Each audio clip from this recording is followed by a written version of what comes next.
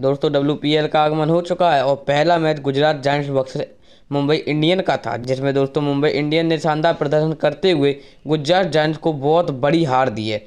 दोस्तों, आप लोगों ने जैसा कि देखा होगा कि पहले मैच में, पहले ही ओवर में गुजरात जायंट्स की कप्तान बैथ बुनी चोटें हो गई थी और ये फ़ील्ड के बाहर चली गई थी, जिसके बाद गुजरात जायंट्स मैच ये हार गई। लेकिन अगला मैच गुजरात जायंट्स का यूपी वॉरियर के साथ है। अगर गुजरात की कप्तान बैथ बुनी अगर चोटें रहीं तो यूपी वॉरियर्स के साथ गुजरात जायंट्स को थोड़ा मुश्किल होगा, मैच जीत पाना, क्योंकि बैथ बुनी जो है बहुत ही अच्छे खिलाड़ी हैं। दोस्तों, अब देखना ये होगा कि अगला मैच गुजरात कप्तान बैथ बुनी मैच खेल पाती हैं या नहीं, या फिर वो चोटिली रहती हैं। आपकी क्या राय है, कमेंट में ज़रूर बताएँ।